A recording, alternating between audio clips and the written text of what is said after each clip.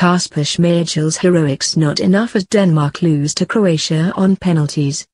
Croatia claimed victory over Denmark via penalty shootout after a 1-1 draw to advance to the quarter-final of the World Cup to take on hosts Russia.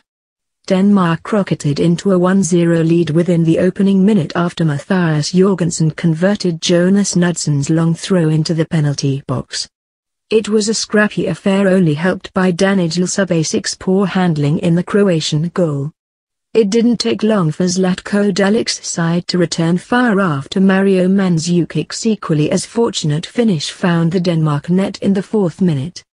Both sides settled down throughout the remainder of the first half, and while Croatia edged the first 45 minutes in terms of possession and shots, both teams went into the changing with one goal each.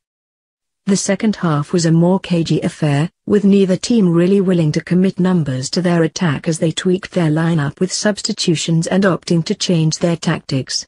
Denmark's full-backs were notably higher and wider than they were in the first half, but to little avail as not even creative maestro Christian Eriksen could penetrate the Croatian defense even with the tactical adjustments.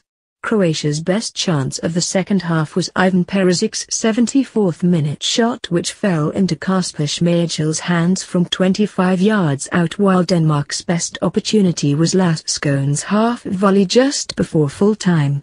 With neither side able to, to replicate their high-energy performance from the first half, extra time loomed along with the possibility of the day's second penalty shootout. Extra time was more of the same from both nations with neither willing to commit tired bodies forward in search of the winning goal.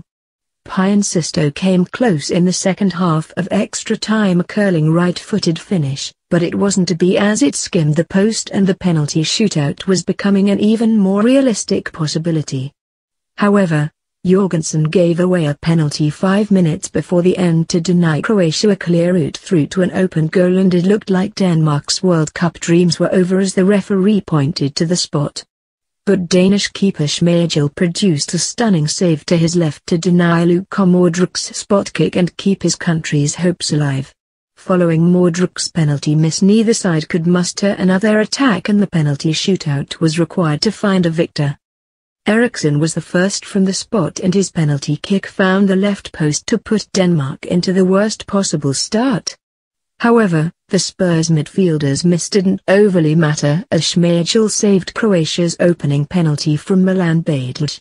Simon Kjaer finally opened the penalty shootout proceedings with a brilliant spot kick that found the top corner, but Andrej Kramaric leveled it at 1-1 moments later. Michael Krohn-Dehli and Luka Modric were up next, and both converted to lock the score in at 2-2.